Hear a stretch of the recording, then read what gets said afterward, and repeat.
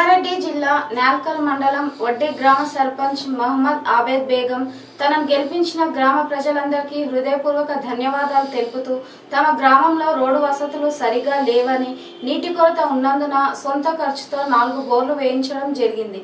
తమ గ్రామంలో స్కూల్ ఉన్నప్పటికీ టీచర్లు లేనందున పిల్లలు ఇబ్బంది పడుతున్నారని అధికారులు పట్టించుకొని గ్రామ సమస్యలను తీర్చాలని మీడియా ద్వారా సభాముఖంగా తెలియజేశారు.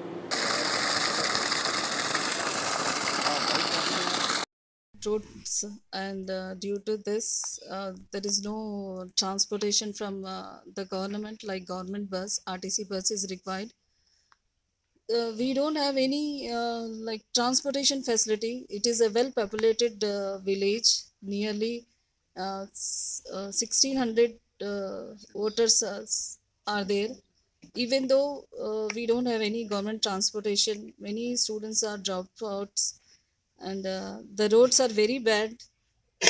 Um, just only 200 meters road is there somewhere. That is recently uh, uh, issued uh, or uh, i can say laid uh, road on 200 meters. And remaining every anybody can come and see. The total village is very very backward. And the students are not getting a proper education. And no health facilities. Even we don't have any uh, clinic here in our village. So it's i can say that it's uh, badly we required a help from the uh, honorable uh, mla and uh, ministers. And i request our chief minister honorable chief minister to uh, help our village to develop it. Really uh, we will be very thankful for that. Thank you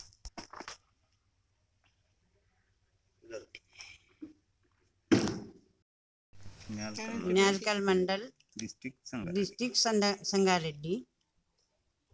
है वड्डी से।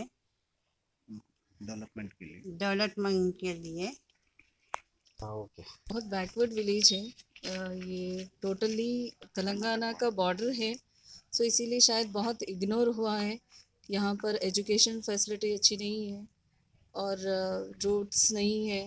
Even basic needs जैसे water है water का भी बहुत problem है। सो so, मैं हमारे एमएलए साहब को रिक्वेस्ट करूँगी कि इस बड़ी गाँव के लिए कुछ वाटर फैसिलिटी के लिए रोड फैसिलिटी के लिए वर्क करें। ये बहुत ही एक पिछड़ा गाँव है जो जहाँ पर बच्चे बहुत सारे ड्रॉप आउट्स हैं जो ये आगे चल के बहुत विलेज के फ्यूचर के लिए बहुत ख़राब होगा। सो so, मेरी गवर्नमेंट से तेलंगाना गवर्नमेंट से रिक्वेस्ट है कि थोड़ा वेडी के लिए कुछ फंड्स करें, कुछ हेल्प करें कि यहाँ के लोग डेवलप हों, अच्छी एजुकेशन मिले बच्चों को और बेसिक नीड्स मिलें।